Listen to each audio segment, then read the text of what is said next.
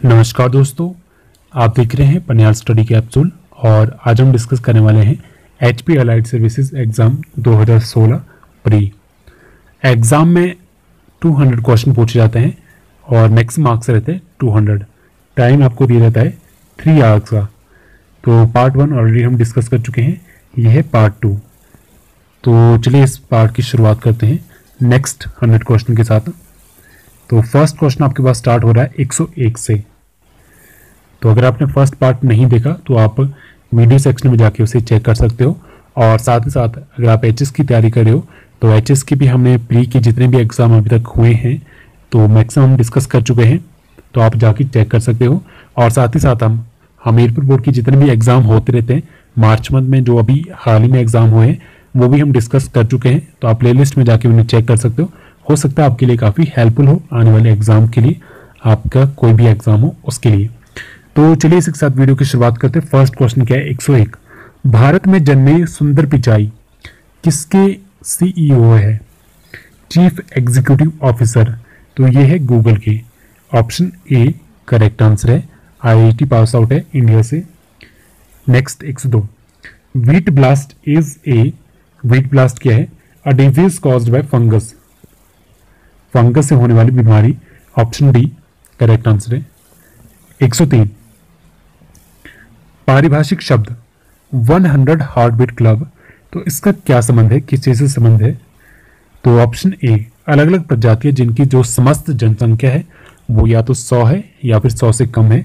तो उनके लिए हम ये वर्ड यूज़ करते हैं 100 heart beat club next 104 stone fly ये किस चीज़ का इंडिकेटर है? ये है वाटर पोल्यूशन का। ऑप्शन बी करेक्ट आंसर है। 105 हाँ 105 क्या है। पृथ्वी से परिवेक्षणीय सूर्य के समान सूर्य के सामने होकर बुद्ध ग्रह के गुजरने की भविष्यवाणी सबसे पहले किसने की थी? तो ये की गई थी कैप्लर के द्वारा ऑप्शन सी। करेक्ट आंसर है। और अगर आप भी एग्ज़ाम की तैयारी करें तो आप भी साथ साथ ट्राई कर सकते हो। कौन सा क्वेश्चन का आंसर, कौन सा रहेगा? नेक्स्ट। इनमें से कौन सा देश है जो मदर्स डे आठ मई को नहीं मनाता तो वो है Spain. Option C. Correct answer है। 107 जर्मनी की प्रथम महिला चांसलर एंजेला मार्केल का वर्तमान टर्म कौन सा है? तो 107 का करेक्ट आंसर ऑप्शन बी तो वो है थर्ड टर्म नेक्स्ट 108 तो देखिए, ये करंट अफेयर के क्वेश्चन है। आपकी काम के नहीं है बट अगर आपको इनको अच्छी तरीके से देखोगे, आप इनका पैटर्न चेक करोगे, जो टॉपिक एग्ज़ाम पूछे जा रहे हैं तो आपके लिए काफ़ी ज़्यादा हेल्पफुल हो सकते हैं, जो आने वाला आपका प्री का एग्ज़ाम है, चाहे अलाइड का हो, चाहे आपका एचएस का हो तो आप उस चीज़ को नोटिस कीजिए। ऐसा मत सोचिए कि एग्ज़ाम पुराना है तो आपके काम का नहीं है। जो लास्ट ईयर के एग्ज़ाम रहते हैं, कितने भी, कोई भी हो तो आपके लिए काफ़ी इंपॉर्टेंट है। उसमें जो पूछे जा रहे एग्जामिनर के द्वारा जो क्वेश्चन पूछे जा रहे हैं, उनको, उनका जो माइंडसेट रहता है, वो आपको रीड करना पड़ता है। उसी तरीके से अगर आप एग्ज़ाम की तैयारी करते हो तो आपके लिए एक प्लस पॉइंट रहता है और आप मेरिट में अच्छे मार्क्स ला सकते हो। तो चलिए इसके साथ देखते हैं नेक्स्ट क्वेश्चन क्या है? एक सौ आठ एक सौ आठ क्या है? पिंक गैटोज ये शब्द किसके बारे में है? तो जो महिलाएँ कॉर्पोरेट सेक्टर में काम करती है, उसे रिप्रेजेंट करती है तो उसके लिए हम यूज़ करते हैं पिंक गैटोज तो ऑप्शन ए इसका करेक्ट आंसर है। नेक्स्ट 109 तृप्ति देसाई, ये कौन है? तो ये है लिंग समानता का लिंग समानता की सक्रिय प्रतिभागी। जेंडर इक्वलिटी एक्टिविस्ट नेक्स्ट 110 महिलाओं के लिए संयुक्त राष्ट्र विकास कोष। यूएन डेवलपमेंट फंड की सद्भावना राजदूत कौन है? गुडवेल एम्बेसडर कौन है इसकी? 110 का जो करेक्ट आंसर है, वो है option D Nicole Kidman next 111 कौन महिला राष्ट्राध्यक्ष अपने देश में महाभियोग का सामना कर रही है? इम्पीचमेंट किसकी हो रही है अभी हाल ही में? तो इसका जो करेक्ट आंसर है 111 का, वो है option C Dilma Rousseff. Next 112 महिला सांसदों की संख्या सबसे ज़्यादा कौन से देश में है? तो करेक्ट आंसर है ऑप्शन ए स्वीडन में। नेक्स्ट 113 निर्भय एक्ट तो ये कब आया था? ये आया था 2013 में। ऑप्शन बी करेक्ट आंसर है। नेक्स्ट क्या है? किरण किरण मजुमदार शाह। तो ये किस कंपनी की सीईओ है? ये है बायोकॉन की। ऑप्शन ए करेक्ट आंसर है। 115 आ, किस वर्ष अंतर्राष्ट्रीय इस वर्ष जो अंतर्राष्ट्रीय महिला दिवस हुआ था उस टाइम पे तो उसकी जो थीम थी वो क्या थी? तो वो थी समता के लिए प्रतिज्ञा place for parity option B correct answer है। तो जितने भी इंटरनेशनल डे होते हैं किस दिन मनाए जाते हैं क्या थीम थी हर एक एग्ज़ाम में पूछा जाता है तो अच्छे से रीड कीजिए। नेक्स्ट एक सोलह। विशेषकर महिलाओं के लिए बैंक स्थापित करने वाला पहला देश कौन सा है तो वो है पाकिस्तान। ऑप्शन ए नेक्स्ट एक सौ सतारह। वर्तमान में विश्व में जैव विविधता के संवेदनशील स्थान, हॉटस्पॉट कितने हैं तो वो है थर्टी फोर। एक सौ अठारह।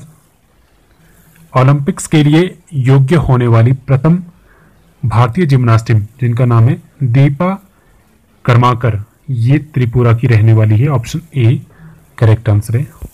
119 निम्नलिखित टेनिस खिलाड़ियों में से किसको मादन यानी डोपिंग का दोषी पाया गया है? तो 119 का जो करेक्ट आंसर है, वो option C, Maria Sharapova. Next 120 Olympic खेलों के लिए भारत के सद्भावना राजदूत को बताइए, गुडविल एम्बेसडर कौन है? तो इसका correct answer option D, Sachin Tendulkar. 121 तो इनमें से कौन सा देश है जिसने अभी तक टी ट्वेंटी वर्ल्ड कप नहीं जीता है? तो वो है ऑस्ट्रेलिया। 122 S against odds. तो ये जो पुस्तक है, कि ये किस खिलाड़ी पे आधारित है तो ये है सानिया मिर्ज़ा पे तो ऑप्शन बी, करेक्ट आंसर है। 123 ऑल इंडिया बैडमिंटन प्रतियोगिता जीतने वाली प्रथम खिलाड़ी कौन है? भारतीय खिलाड़ी कौन है? तो 123 का correct answer option A Prakash Padukone. 124 इस वर्ष सर्वश्रेष्ठ फ़िल्म के लिए किस हॉलीवुड फ़िल्म को ऑस्कर अवार्ड मिला है? तो ये मिला है स्पॉटलाइट को। 125 निम्नलिखित फ़िल्म शख्सियतों में से किसको दादा साहब फाल्के अवार्ड मिला है तो 125 का correct answer option D, Manoj Kumar. Next 126 सर्वश्रेष्ठ अभिनेत्री का अवार्ड किसे मिला है 2016 में? तो ये मिला है राष्ट्रीय फ़िल्म अवार्ड के द्वारा। किसे दिया गया है कंगना रनावत को? ऑप्शन ए करेक्ट आंसर है। तो देखिए, जो इतने भी रिवॉर्ड होते हैं अवार्ड वगैरह दिए जाते हैं, कुछ भी होता है तो वो काफ़ी इंपॉर्टेंट है करंट अफेयर के लिए। नेक्स्ट एक सौ सताइस ओजोन दिवस कब मनाया जाता है? 16 सितंबर को। नेक्स्ट एक 128 एनएसडीसी तो इसकी फुल फॉर्म पूछी गई है तो ये नेशनल स्किल डेवलपमेंट कॉरपोरेशन राष्ट्रीय कौशल विकास प्राधिकरण। नेक्स्ट एक उन्नत भारत अभियान तो ये किससे से रिलेटेड है? तो ये है ग्रामीण उत्थान से। ऑप्शन ए करेक्ट आंसर है। 130 राष्ट्रीय टेक्नोलॉजी दिवस तो इसकी थीम क्या थी 2016 में? तो देखिए, जो थीम है वो बार बार पूछी जा रही है। एनटी का एग्ज़ाम अगर आप देखोगी, चाहे एचएस का देखोगे तो उसमें भी थूम हर बार ये थीम पूछी जाती है। तो 130 का जो करेक्ट आंसर है, वो है ऑप्शन डी ऑप्शन डी क्या है? स्टार्टअप इंडिया के लिए टेक्नोलॉजी एनेबल्स ऑप्शन डी 131 किस स्थान के 16 वर्षीय महाराजा के साथ केशव चंद्र सेन की पुत्री का विवाह हुआ है? तो यह है कूच बिहार के। ऑप्शन सी, करेक्ट आंसर है। नेक्स्ट क्या है? आपको बताना है कि इनमें से सुमिलित कौन सा नहीं है। तो देखिए, सबसे पहला है, द इंडियन यूनिवर्सिटी एक्ट 1904 में आया था, करेक्ट है। हंटर कमीशन 1882 करेक्ट है। नेक्स्ट है, the Wardha scheme of basic education. तो ये उन्नीस सौ सैंतीस में थी, ठीक है।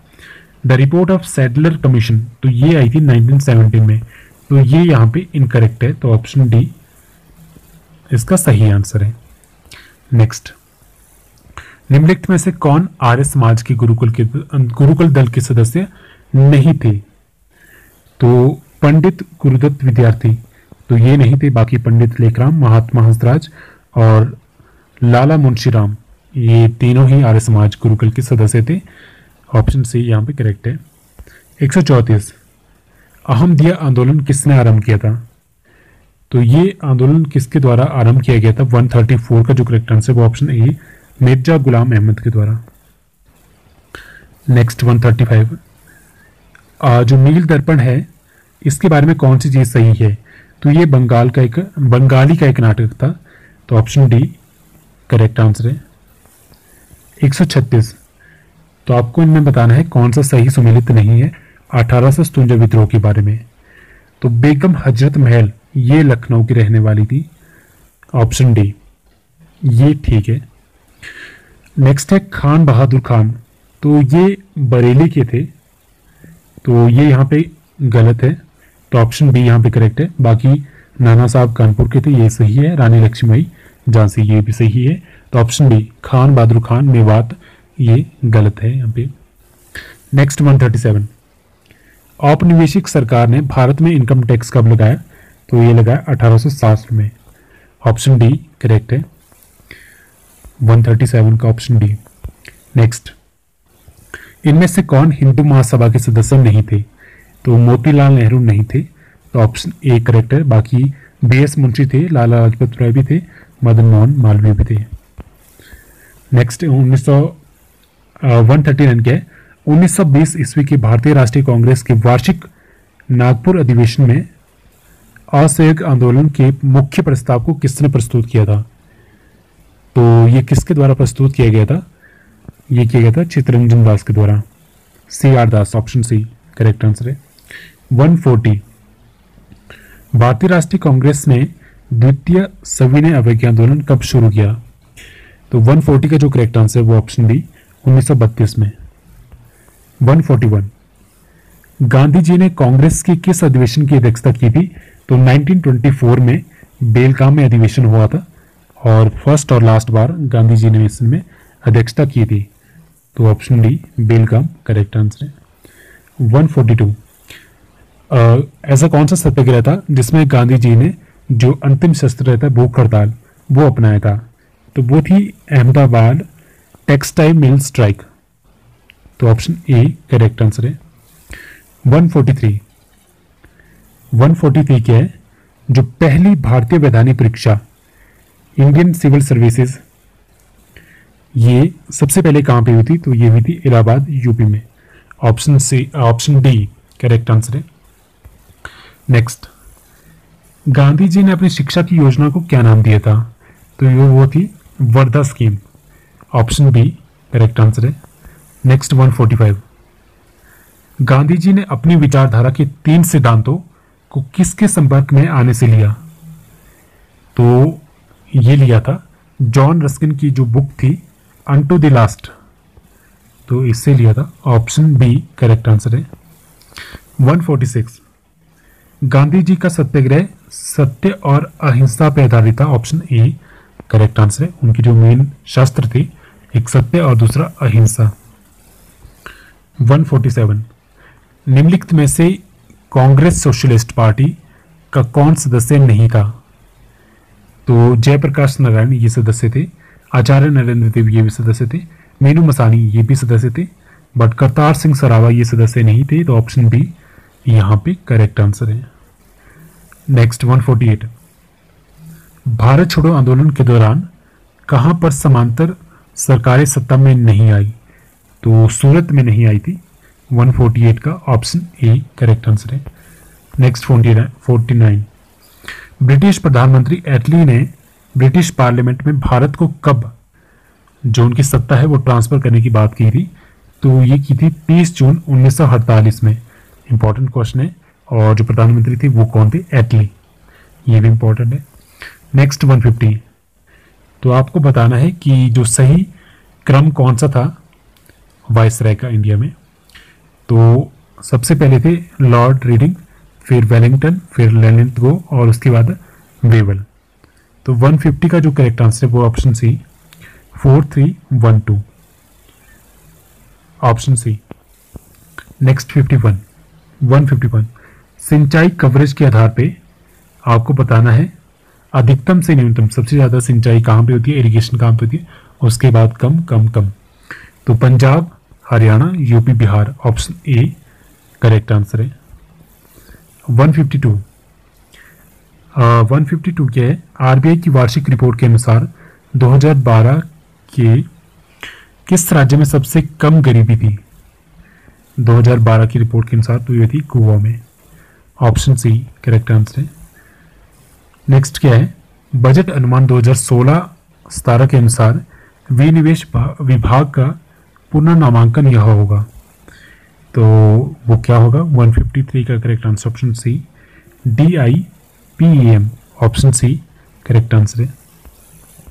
नेक्स्ट 154 ट्रिप्स और ट्रिम्स इसका संबंध किसके साथ है? तो ये है गेट के साथ जिसके फुल फॉर्म है general agreement on tariff and trade जो बनाया गया था 1947 में 30 अक्टूबर को, और उसके बाद इसकी जगह पे आया था डब्ल्यूटीओ जिसे वर्ल्ड ट्रेड ऑर्गेनाइजेशन के नाम जाना जाता है, जिसका हेडक्वार्टर है जनीवा में। और टोटल जो उसके मेंबर है, वो है 164 लास्ट इसमें जुड़ा था अफ़गानिस्तान। नेक्स्ट 155 भारत में तकनीकी माध्यम के द्वारा सेवाओं की प्रभारी डिलीवरी कौन सही दर्शा रहा है? Efficient delivery of services through technology in India is well defined by तो वो है डीबीटी और जेएम के द्वारा। तो डीबीटी क्या है? डायरेक्ट बेनिफिट ट्रांसफ़र और जे से बन गया जनधन ए से बन गया आधार और एम से बन गया मोबाइल नेक्स्ट 156 2011 की जनगणना के अनुसार भारत में अधिकतम शहरी और अधिकतम ग्रामीण जनसंख्या किन राज्यों में है? तो एज पर ऑप्शन है correct answer option C Maharashtra में सबसे ज़्यादा शहरी लोग हैं और उत्तर प्रदेश में सबसे कम, सबसे ज़्यादा ग्रामीण लोग हैं। 157 निम्नलिखित में से किसने भारत में गरीबी के आघात को नहीं मापा? इंसिडेंस ऑफ़ पॉवर्टी को नहीं मापा था। तो 157 का correct answer option B Rajkrishna. Next 158 Antyodaya Diwas कब मनाया जाता है? 158 का करेक्ट आंसर ऑप्शन ए 25 सितंबर को। नेक्स्ट 159 इनमें से कौन सा संगठक भारत निर्माण का हिस्सा नहीं है? 159 का करेक्ट आंसर ऑप्शन ए स्वच्छता भारत निर्माण का हिस्सा नहीं है। ग्रामीण टेलीफोन, पेयजल, सिंचाई, ये भारत निर्माण के हिस्से हैं। सैनिटेशन इसमें नहीं आता। ऑप्शन ए करेक्ट आंसर है। 160 हेरिडे योजना किसके द्वारा लॉन्च की गई थी? तो 160 का करेक्ट आंसर ऑप्शन डी ये की गई थी शहरी विकास मंत्रालय द्वारा 21 जनवरी 1915 को 2015 को, अर्बन डेवलपमेंट मिनिस्ट्री के द्वारा 161 निम्नलिखित में से कौन सा कथन भारतीय संविधान की प्रस्तावना के संदर्भ में असत्य है? तो प्रेमबल के बारे में कौन सी चीज़ गलत है तो वो आपको चेक करनी है। तो पहले देख लेते हैं क्या क्या है इसमें। यह संविधान की आत्मा है तो ये सही है। नेक्स्ट यह भारत की जनता में शक्ति निहित करता है। It vests power in the people of India ये भी सही है। नेक्स्ट है, यह राज्य को एक संप्रभु, समाजवादी, पंथनिरपेक्ष, संप्रदाय, लोकतांत्रिक गणराज्य के रूप में परिभाषित करता है। तो ये इसमें गलत है और ऑप्शन डी क्या है? यह संसद द्वारा संशोधित किया जा सकता है। अमेंडमेंट इसमें की जाती है। तो ऑप्शन सी यहाँ पे गलत है। नेक्स्ट नेक्स्ट क्वेश्चन देखते हैं हमारे पास क्या है? तो इसमें जो गलत था आपका, वो था संप्रदायवादी, बाकी समाजवादी, पंथ निरपेक्ष, लोकतांत्रिक, गणराज्य और संप्रभु, ये सही है, ये इसमें नहीं आता। नेक्स्ट 162 निम्नलिखित में से कौन सी स्वतंत्रता, भारतीय संविधान में वर्णित स्वतंत्रता के आधार में उल्लेखित नहीं है? तो 162 का जो करेक्ट आंसर है, वो ऑप्शन सी विरोध करने की स्वतंत्रता फ्रीडम ऑफ़ प्रोटेस्ट तो ये इसमें डिफाइन नहीं है, बाकी सभी इसमें डिफाइन है। तो डिफाइन क्या है? Freedom of speech and expression freedom to assemble peacefully without arms freedom to practice any profession तो ये आपको स्वतंत्रता दी गई है संविधान के द्वारा बट ये नहीं है विरोध करने की स्वतंत्रता। नेक्स्ट 163 किस संवैधानिक संशोधन के द्वारा संपत्ति के आधार को मौलिक अधिकार की सूची से हटा दिया था और उसे आर्टिकल 300 ए में डाल दिया गया था? तो 163 का करेक्ट आंसर ऑप्शन डी वो थी फोर्टी फोर्थ अमेंडमेंट इसके बाद जो आपका राइट टू प्रॉपर्टी था, उसे लीगल राइट में कन्वर्ट कर दिया गया था। और ये जो अमेंडमेंट है, ये हुई थी 1978 में। तो ये भी इंपॉर्टेंट है डेट भी इंपॉर्टेंट है, और आर्टिकल आ जाता है 300 ए तो चलिए नेक्स्ट क्वेश्चन देखते हैं। निम्नलिखित में से सही मिलान कीजिए तथा नीचे दिए संकेत सूची को सही उत्तर से चुनिए। तो आपको आर्टिकल मैच करने हैं, कौन सा आर्टिकल किस चीज़ के लिए है। 164 का जो करेक्ट आंसर है, वो ऑप्शन बी ऑप्शन बी आपके पास क्या है। तो चलिए मैच करके देखते हैं। तो फ़र्स्ट आपके पास क्या है? वित्त आयोग फाइनेंस कमीशन कौन सा आर्टिकल है आपका? तो ये है article 280 option four correct answer इसका। नेक्स्ट आपके पास है संघ लोक सेवा आयोग यूपीएससी है। तो ये कौन से आर्टिकल में आता है? तो ये आता है आर्टिकल 315 में 315 में। नेक्स्ट है चुनाव आयोग इलेक्शन कमीशन इलेक्शन कमीशन आता है आर्टिकल 324 और नेक्स्ट है कमीशन फॉर बैकवर्ड क्लासेस तो ये आता है आर्टिकल 340 में। तो इस तरह से आप इन्हें मैच कर सकते हो। तो ऑप्शन बी करेक्ट आंसर है यहाँ पे। नेक्स्ट 165 निम्न में से कौन सा भारत के राष्ट्रपति के निर्वाचक मंडल के सदस्य नहीं होते? तो जब इलेक्शन होते प्रेसिडेंट की तो इनमें से कौन प्रेसिडेंट को वोट नहीं करते इलेक्शन में पार्टिसिपेट नहीं करते? तो 165 का करेक्ट आंसर ऑप्शन डी राज्य विधान परिषदों के निर्वाचित सदस्य। तो जो आ, स्टेट में जो लेजिस्लेटिव काउंसिल होती है उसके मेंबर इसमें पार्टिसिपेट नहीं करते। तो पार्टिसिपेट कौन कौन करते हैं? तो ये भी इंपॉर्टेंट है। Elected member of legislative assembly of state जो हमारे एमएलए हम चुनते हैं, वो इसमें वोट करते हैं। Elected member of Lok Sabha Lok Sabha के जो इलेक्टेड मेंबर होते हैं, जैसे भी इलेक्शन होने वाले हैं तो जो भी चुन के सदस्य जाते हैं तो वो वोट करते हैं उनके लिए। और इलेक्टेड मेंबर ऑफ़ राज्यसभा और राज्यसभा के जो इलेक्टेड मेंबर होते हैं एमपी जो होते हैं वो भी प्रेसिडेंट के लिए वोट करते हैं। नेक्स्ट 166 निम्न में से कौन सा कथन भारत के उपराष्ट्रपति के बारे में गलत है? तो 166 का जो करेक्ट आंसर है, वो है ऑप्शन डी ऑप्शन डी क्या है? इंग्लिश में पढ़ते हैं। He can be removed from his office by impeachment तो ये इसमें गलत है। तो इसमें सही कौन कौन से हैं? He acts as a president during the absence of president अगर प्रेसिडेंट नहीं है तो एज ए प्रेसिडेंट वो एक्ट करते हैं नेक्स्ट है। He is the ex official chairman of Rajya Sabha.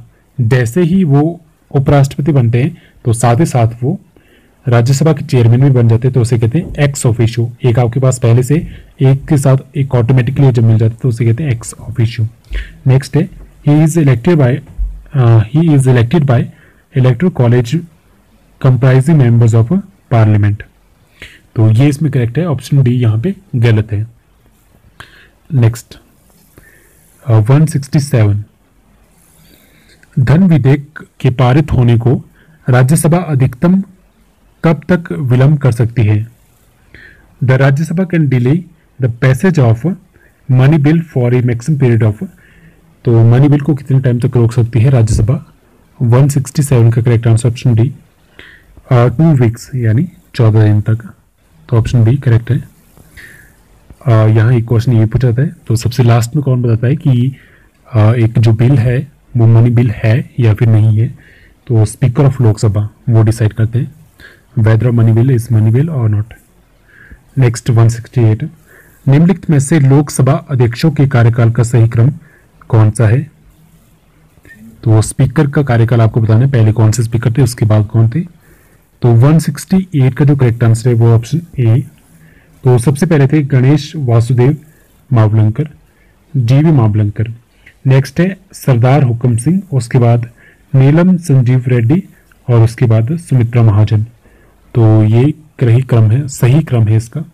तो ऑप्शन ए करेक्ट आंसर है। नेक्स्ट 169 निम्न में से लोकसभा की सबसे बड़ी समिति कौन सी है? 169 का जो करेक्ट आंसर है, वो ऑप्शन सी वो है एस्टिमेट कमेटी प्राकलन समिति 170 निम्न में से कौन सा कथन धर्म की स्वतंत्रता के आधार में सही नहीं है? Right to freedom of religion के बारे में सही कौन सा नहीं है? तो 170 का करेक्ट आंसर ऑप्शन डी ये सही नहीं है। धर्म की स्वतंत्रता में धर्मांतरण की स्वतंत्रता सम्मिलित है। Freedom of religion includes freedom of conversion तो ये इसमें सही नहीं है, बाकी इसमें सही है। तो सही देखते कौन से हैं। सही कौन सा है पहले? Freedom of religion is listed from article 25 से 28 तो इस आर्टिकल में आता है फ्रीडम टू रिलीजन नेक्स्ट है freedom of religion includes right to profess practice and propagate religion तो ये सही है। Freedom of religion gives freedom to establish religious institution. तो ये सही है, बाकी आपका ऑप्शन डी यहाँ पे गलत है। तो ऑप्शन डी सही आंसर है इसका। नेक्स्ट 171 अब भारत के किस संविधान संशोधन द्वारा मताधिकार की आयु 21 वर्ष से घटाकर 18 वर्ष कर दी गई थी? तो पहले वोट देने का अधिकार 21 वर्ष के बाद था। अब 18 वर्ष के बाद भी हम वोट दे सकते हैं। तो ये कौन से संशोधन में किया गया था? 171 का जो करेक्ट आंसर है वो ऑप्शन ए 61 जो अमेंडमेंट हुई थी, वो इस चीज़ से रिलेटेड हुई थी। तो चलिए नेक्स्ट क्वेश्चन देखते हैं। 61 अमेंडमेंट और नहीं हुई थी 1989 में। तो कई बार आपसे जो ए ईयर है, वो भी पूछी जाती है तो वो भी इम्पोर्टेंट है। नेक्स्ट क्वेश्चन देखते हैं। और अमेंडमेंट जो की जाती है, वो आर्टिकल 368 के अंदर की जाती है। तो आपसे कई बार अमेंडमेंट का आर्टिकल भी पूछा जाता है। तो आर्टिकल 368 अमेंडमेंट के लिए है। नेक्स्ट 172 निम्न में से किसे भारतीय निर्वाचन आयोग ने हाल ही में इलेक्ट्रॉनिक वोटिंग मशीन के अंतर्गत सम्मिलित किया है? तो 172 का जो करेक्ट आंसर है वो option C NOTA. None of the above next 173 निम्न में से कौन सा राजनीतिक दल भारत के चुनाव आयोग द्वारा वर्गीकृत श्रेणी के अंतर्गत नहीं है। तो देखते हैं कौन सा नहीं है इसमें। 173 का करेक्ट आंसर ऑप्शन बी तो वो है क्षेत्रीय दल, यानी रीजनल पार्टी तो ये इसमें नहीं आता। नेक्स्ट 174 पी आई एल की फुल फॉर्म क्या है? तो 174 का correct answer option A public interest litigation जनहित याचिका। नेक्स्ट 175 निम्न में से कौन सा विषय समवर्ती सूची में सम्मिलित नहीं है? तो कंकरेंट लिस्ट में कौन सा नहीं आता जिसमें स्टेट और यूनियन दोनों फैसले ले सकते हैं? तो करेक्ट आंसर ऑप्शन डी तो वो है एग्रीकल्चर एग्रीकल्चर इसमें नहीं आता कंकरेंट लिस्ट में. तो नेक्स्ट क्वेश्चन देते हैं वन सेवेंटी सिक्स निम्न में से कौन से राज्य में द्विसदनीय विधायिका नहीं है? तो which one of the following state does not have bicameral legislation जिसमें आपकी एम एल भी होते हैं लेजिस्लेटिव काउंसिल भी होती है और लेजिस्लेटिव असेंबली भी होती है। तो वो कहाँ पे नहीं है?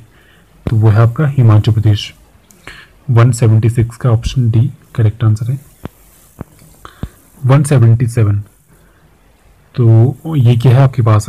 निम्न में से सही मिलान कीजिए और नीचे देगी संकेत सूची के सही उत्तर दीजिए। तो आपको मैच करना है कौन सा आर्टिकल किसके लिए है। तो चलिए मैच करके देखते हैं।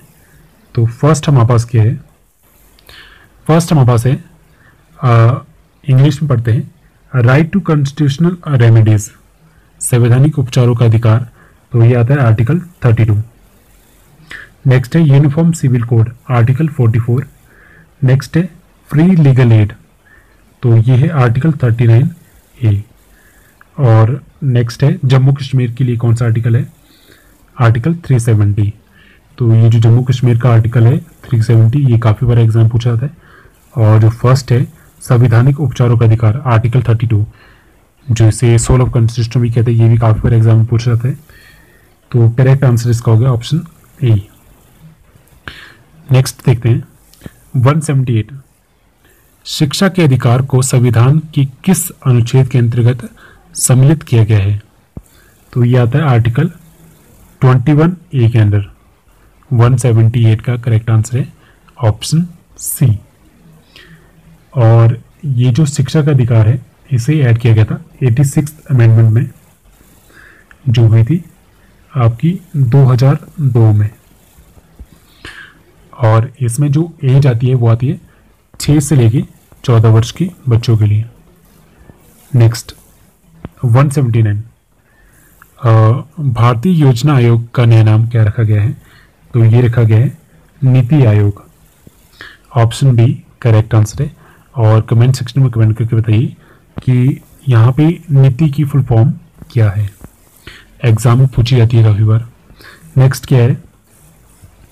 निम्नलिखित राजनीतिक दलों को उनके चुनाव चिन्हों के आधार पर आपको मिलाना है किसका चुनाव चिन्ह कौन सा है। तो 180 का जो करेक्ट आंसर है आपके पास तो चलिए मैच करके देखते हैं। आ, भाजपा तो ये तो सबको पता है भाजपा का कमल है। नेक्स्ट हमारे पास है मनसे। महाराष्ट्र नवनिर्माण सेना जिसके जो मेन लीडर है वो है राज ठाकरे। तो इसका जो करेक्ट आंसर है वो है ऑप्शन ए मनसे का है रेल इंजन नेक्स्ट है आम आदमी पार्टी। तो ये भी सभी जानते हैं झाड़ू।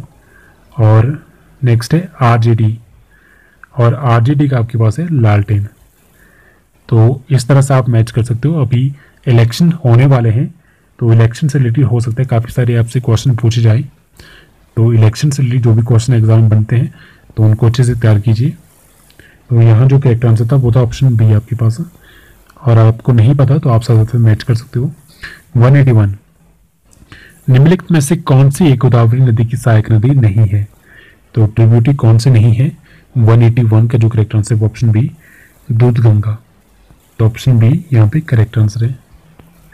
नेक्स्ट 182 निम्नलिखित में से कौन से एक राज्य में पोर्ट जोलिक मृदा नहीं है?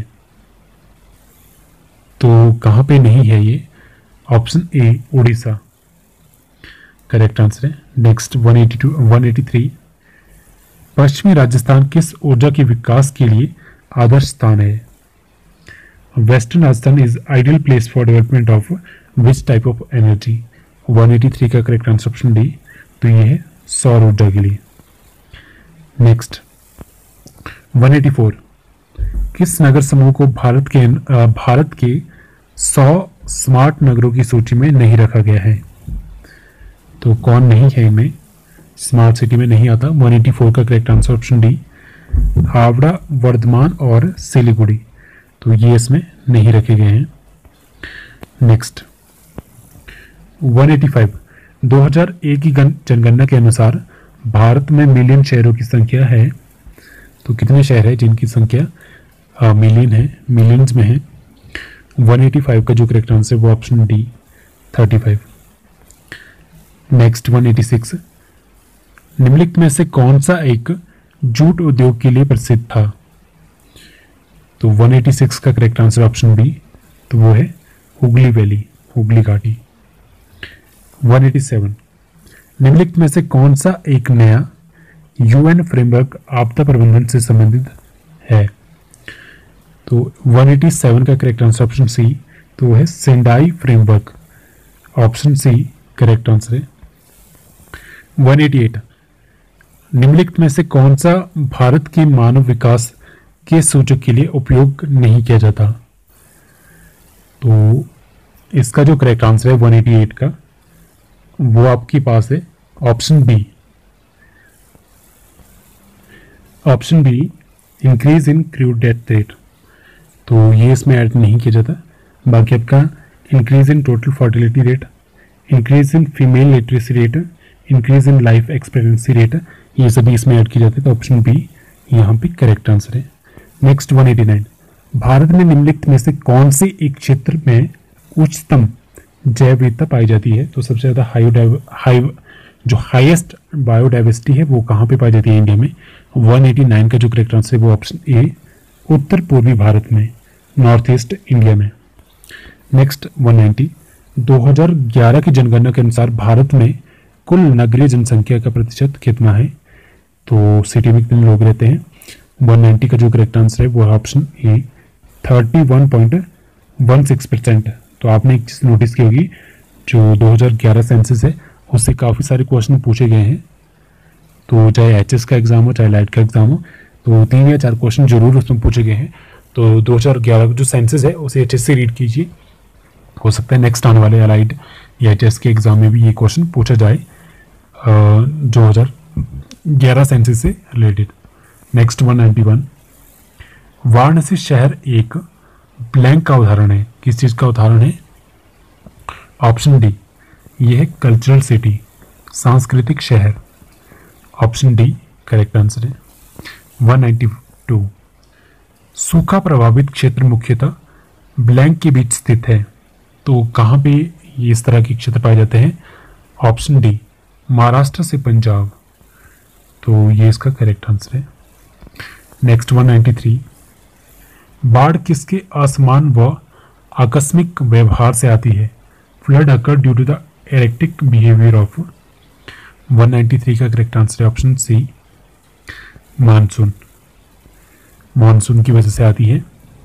नेक्स्ट 194 194 क्या है? निम्नलिखित में से कौन सा एक राज्य भूकंपीय जोन वी में आता है? तो जो सिस्मिक जोन वी है, उसमें कौन सा राज्य आता है? Option D Bihar. इसका करेक्ट आंसर है। 195 निम्नलिखित में से कौन सी रेखा भारत से होके गुजरती है? तो देखिए इक्वेटर तो नहीं गुजरती है। तो यहाँ से जो गुजरती है, वो है आपकी ट्रॉपिक ऑफ़ कैंसर बाकी जो ट्रॉपिक ऑफ़ कैप्रिकॉन है, वो तो काफ़ी नीचे से, जैसे आपके पास ये ग्लोब है तो बीच में आपके पास इक्वेटर हो गया। तो जो भारत आता है, वो यहाँ पे आता है।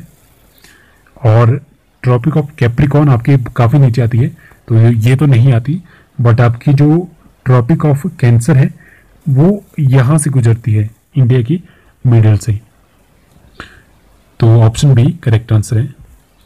नेक्स्ट 196 निम्नलिखित में से कौन से राज्य में शिपकेला पास है? तो हिमाचल प्रदेश करेक्ट आंसर है। नेक्स्ट 197 निम्न में से कौन से पेड़ की प्रजाति ऐसी है जो जंगल में आग के लिए बेहद सुभेद है, क्योंकि उसकी पत्ती में तारपीन का तेल उपस्थित रहता है? तो 197 का जो करेक्ट आंसर है, वो ऑप्शन ए चील का पेड़। नेक्स्ट 198 निम्नलिखित कथनों में से कौन सा कथन भूकंपीय तरंगों के बारे में गलत है?